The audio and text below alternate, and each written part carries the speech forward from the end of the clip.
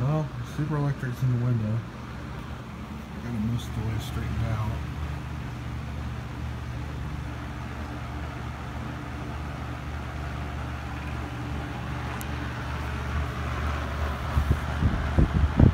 Still badly bent.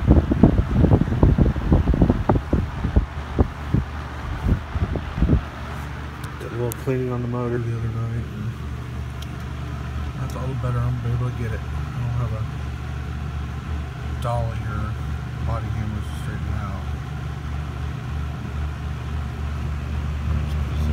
Now.